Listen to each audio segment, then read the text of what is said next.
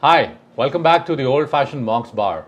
The Vampiro cocktail, a name I haven't heard much of before, but the whole recipe sounds very interesting and I'm equally anxious to recreate it. So let's do it my way today.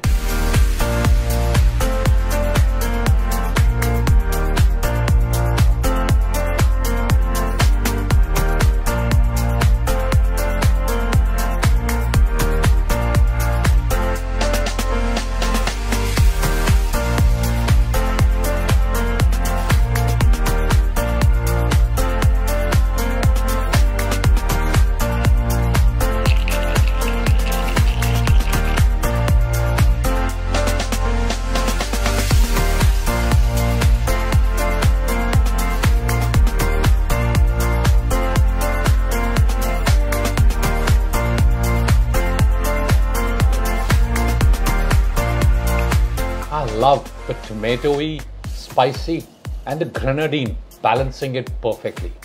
Now I know why it's such a popular cocktail in Mexico. Definitely try it. Cheers.